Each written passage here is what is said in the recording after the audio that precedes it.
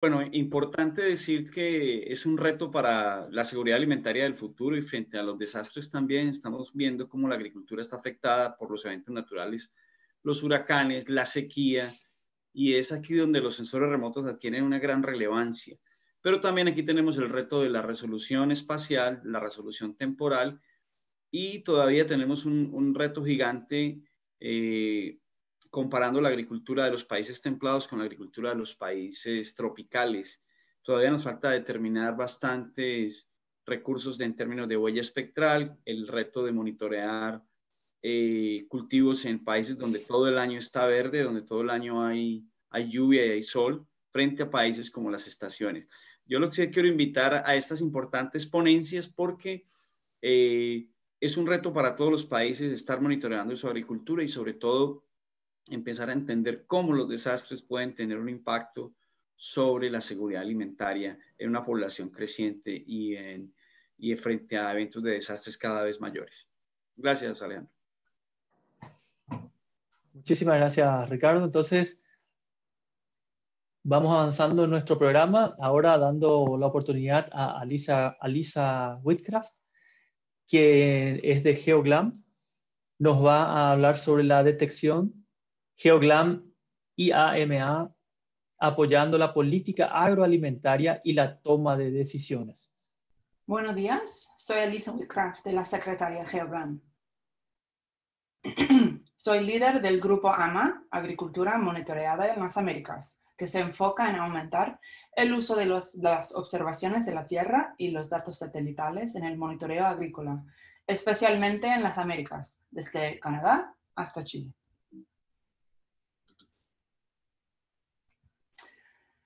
Hasta 1972, los precios de los alimentos se relativamente mantuvieron estables, pero durante un evento en 1972 que se llamaba el Great Grain Robbery, la falta de transparencia sobre la producción de cultivos marcó el comienzo de una nueva era de volatilidad de los precios de los alimentos.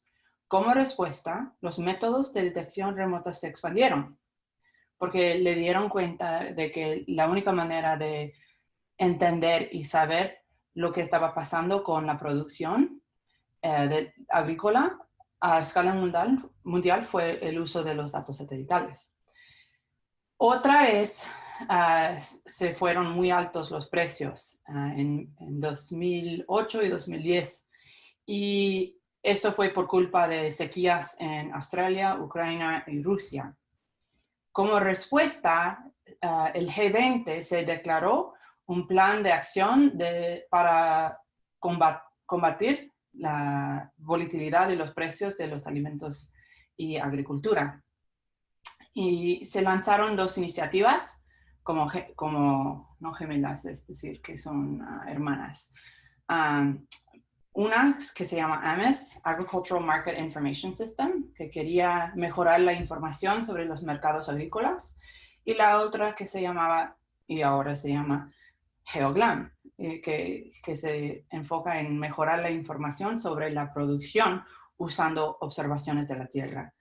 Tanto México como Argentina han liderado el G20 recientemente y ambos son gran apoyantes de GeoGlam que esto es la estructura de GeoGlam. Empezamos con los datos satelitales y hacemos varios esfuerzos para al final fortalecer sistemas nacionales, regionales y globales en el monitoreo agrícola uh, y apoyando eh, mejores decisiones, acciones y políticas en el contexto de la seguridad alimentaria y también cambio climático y el desarrollo sostenible.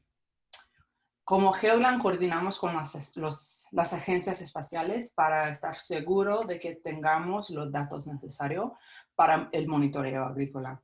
También tenemos un red de sitios agrícolas donde hacemos varias investigaciones eh, e intercomparaciones de métodos para llegar a tener mejores prácticas. Hacemos muchas capacitaciones a través de relaciones profundas apoyadas por Geogram esto es, ah, la estructura global, pero la estructura regional en AMA también refleja esto.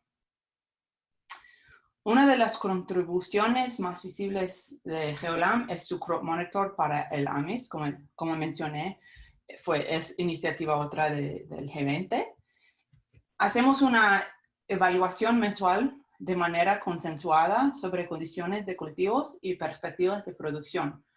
Tenemos más que 40 compañeros distribuidos por todo el mundo, desde el Ministerio de Agricultura especialmente.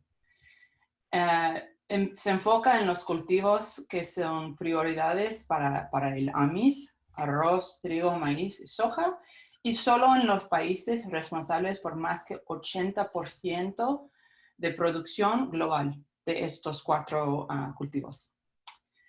Los especialistas que contribuyen a los reportes usan una variedad de informaciones para diagnosticar las condiciones. Observaciones de la tierra son importantes, pero también se usan datos del campo y especialmente usan sus experiencias muy importantes para añadir valor a sus análisis. Eh, se lanzó en 2013 y ya tenemos más que 120 ah, boletines publicados hasta hoy. Luego del éxito del Crop Monitor para AMIS, lanzamos el Crop Monitor para Early Warning, que enfoca en otros países y otros cultivos del mundo, especialmente los con alta inseguridad alimentaria. Pero ¿por qué el Crop Monitor para AMIS? Enfoca en los cuatro cultivos y en los países de producción global. Este crop monitor puede incluir otros países que no, son parte de AMIS y, cultivan cultivos no, incluidos en, um, en, el AMIS. Estamos ahora planeando lanzar una versión nueva del crop monitor que, que cubre todo el mundo global y y estamos también buscando más participación de la región de las Américas. Ya tenemos participación mensual entre los dos boletines desde México, Brasil, Argentina y Chile. Pero tenemos varios vacíos y voy a hablar un poquito de eso en un momento. Estas informaciones han, han sido súper valiosos para, para la política y para tomar decisiones sobre la, distribución de recursos para la seguridad alimentaria.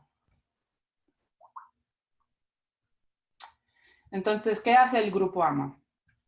AMA enfoca en cuatro o cinco ah, actividades. Nuestro objetivo es fortalecer sistemas nacionales en la región de las Américas. Queremos tener mejor representación de las Américas y los países de las Américas en el sistema global de, GeoGlam que acabo de, introducir. también queremos fortalecer uh, diálogo entre los actores en el, en el, monitoreo agrícola en el país, especialmente las los instituciones de investigación agropecuarias y también los MGAPs. Y y a la vez también el sector privado y las instituciones de hacer investigaciones y por supuesto las agencias espaciales también. Queremos ayudar en la transferencia sur-sur de tecnología entre los países en Latinoamérica y también estamos trabajando en mejorar los métodos y desarrollar y compartir productos regionales. Tenemos un foro de recursos que puede encontrar en nuestro sitio web, por ejemplo. Como mencioné, tenemos varios vacíos en el, el Crop Monitor. Por ejemplo, puedes ver que no tenemos ninguna información sobre varios países en América Latina. y la información que tenemos en América Central se viene desde un, de los Estados Unidos, de FuseNet se llama, es un, es un esfuerzo humanitario. y entonces queremos llenar estos, estas brechas, estos vacíos, y estamos buscando siempre para participación desde los países que no están representados hasta ahora. Entonces, quiero compartir algunos ejemplos de actividades que, hemos hecho. Esto es, por ejemplo, teníamos un taller sobre el mapeo de cultivos a escala nacional usando Landsat. pero se puede también usar Sentinel o, lo que sea. Teníamos visitantes desde cuatro países en la Universidad de Maryland, donde trabajo yo. Ah, teníamos participantes desde Argentina, Brasil, Chile y México. Y vinieron por una semana y pasamos mucho tiempo haciendo este método que, se creó uh, Matt Hansen y sus colegas en la Universidad de Maryland. Y después de cuatro días tenían precisiones iniciales de como 80% entre los cuatro países. Brasil, Chile y Argentina, um, las precisiones fueron mejores pero en México por, algunas dificultades habían como precisiones más bajos y tenían que mejorar con más ah, iteraciones.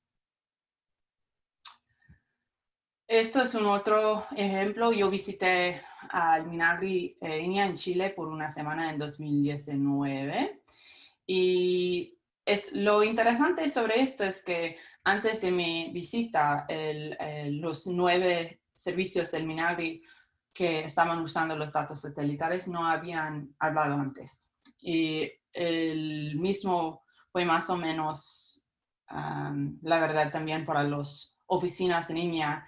Sí habían hablado, pero ah, estaban haciendo recopilaciones de datos dobles. Entonces querían la oportunidad de, colaborar más y la visita de GeoGlam se, se impulsó esta oportunidad para reunirse. Esto es un, ejemplo de investigaciones que tenemos, eh, que tenemos adentro de GeoGlam y tenemos un, red de sitios agrícolas ah, para hacer investigaciones e intercomparaciones, como mencioné, que se llama JCAM, ah, Joint Experiment for Crop Assessment and Monitoring y está, es liderado por Agriculture y Agri-Food Canadá y también una universidad en Belga.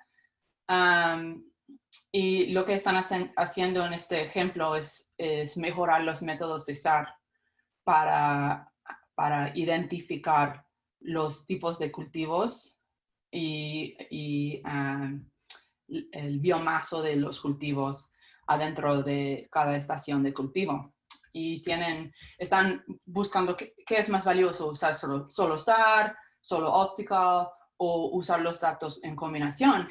Y puedes ver que, por ejemplo, en Argentina SAR es lo mejor, pero en Brasil no, no, no tiene precisiones tan buenas como en Argentina y Optical ah, está haciendo lo mejor. Y estamos uh, investigando también Chile y Costa Rica y los resultados van a, salir muy pronto. Y lo importante es que las los, los, relaciones entre países son muy importantes para el éxito. Entonces, AMA es una avenida muy importante para descubrir y ayudar en, avanzar estas colaboraciones y relaciones internacionales.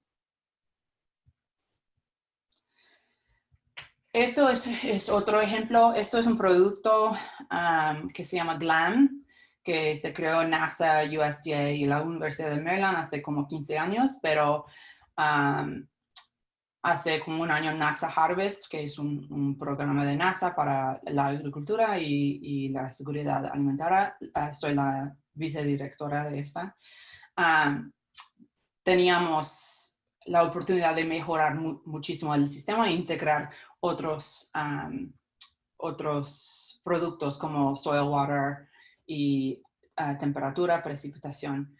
Entonces, a través de AMA teníamos una teleconferencia para estrenar un nuevo sistema de GLAM, este, esta versión nueva. El jefe de estimaciones, Esteban Copate, de la Bolsa de Cereales en, en Argentina, es miembro y él se tuiteó sobre las condiciones secas que comprometían la siembra de trigo en Córdoba y por, por COVID no tenían informaciones muy buenas sobre lo que estaba pasando en este lugar porque no podían visitar al campo.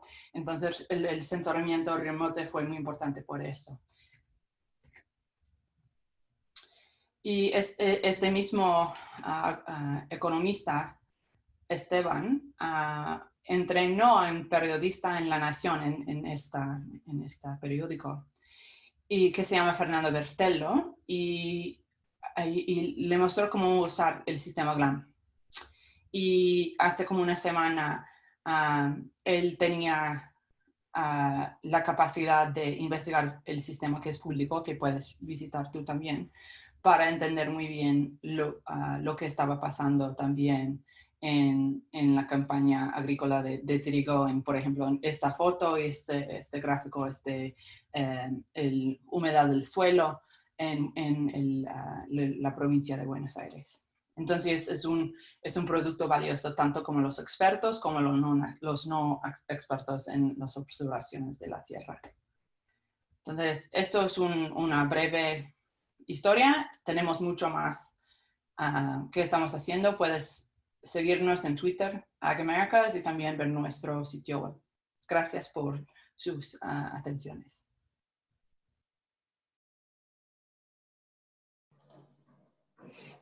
Muchísimas gracias. Buenos días.